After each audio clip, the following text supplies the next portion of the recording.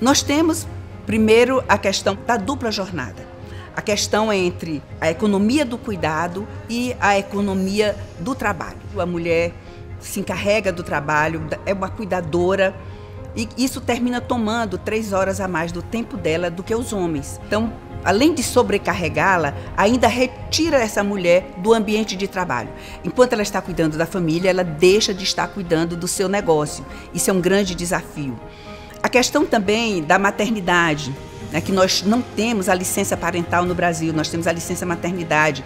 É como se o dever de cuidar da criança fosse apenas da mulher.